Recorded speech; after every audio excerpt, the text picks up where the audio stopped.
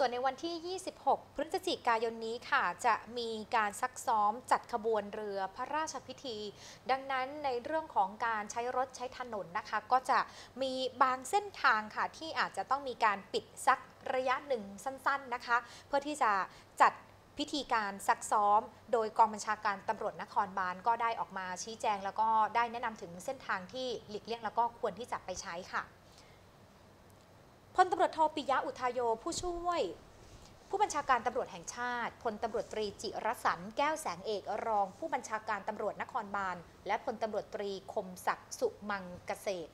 ผู้บังคับการตำรวจจราจร ได้ขอประชาสัมพันธ์ข่าวสาร ให้ประชาชนผู้ใช้รถใช้ถนนได้รับทราบ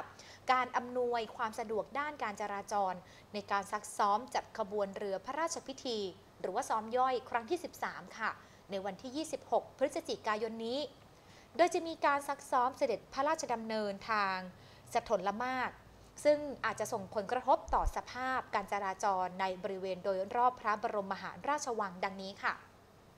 1. จะมีการปิดการจราจรระหว่างเวลา 16 นาฬิกา 30 นาทีถึง 18 นาฬิกาในเส้นทางดังต่อไปนี้ มีถนน ราชินี ใต้สะพาน สมเด็จ พระปิ่นเกล้าถึงแยกผ่านพิภพ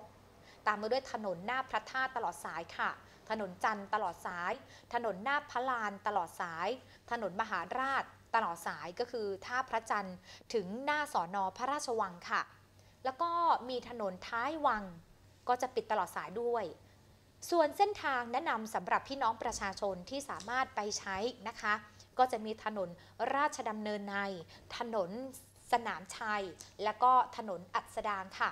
จึงขอแจ้งประชาสัมพันธ์ให้พี่น้องประชาชนผู้ใช้รถใช้ถนนได้ทราบ เพื่อที่จะเตรียมความพร้อมวางแผนในการเดินทาง และก็ขออภัยในความไม่สะดวกมาณที่นี้ด้วยนะคะ ดังนั้นถ้าเกิดว่าคุณผู้ชมที่จำเป็นว่าจะต้องใช้เส้นทางในบริเวณต่างๆ เหล่านั้น สามารถที่จะโทรไปสอบถามที่ศูนย์ควบคุม และสั่งการจราจรหรือว่าบก 02 ได้ตลอด 24 ชั่วโมงค่ะที่ 1197 หรือว่าจะโหลดแอปพลิเคชัน M Help Me มาใช้ได้เลยค่ะ